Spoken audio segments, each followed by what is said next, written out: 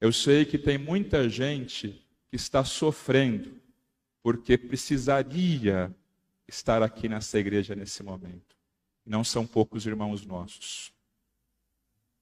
Mas eu também sei que tem alguns, alguns que se dizem católicos que acham que não tem muito problema, que não faz tanta falta também. Reza em casa. Gostaria de contar um segredo para esses irmãos.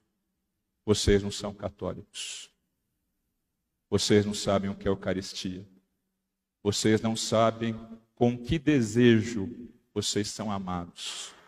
Vocês não sabem quem está no Santíssimo Sacramento. Vocês não conheceram quem pode trazer a paz. Aproveite essa Páscoa, se converta, peça misericórdia de Deus, reconheça quem ficou por você, peça misericórdia do Senhor e que seja uma passagem da sua vida. Irmãos, ah, mas eu, eu, eu trabalho em pastoral da igreja, eu sou ministro da comunhão. Se não te faz falta, você pode ser tudo, menos católico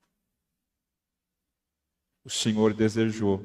E teve irmãos que, quando as igrejas estavam abertas, e não é por questões graves de saúde, que deixaram o Senhor esperando.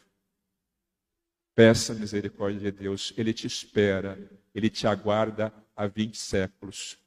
Descubra o amor dele, que seja uma passagem de verdade para a fé na sua vida, na nossa vida.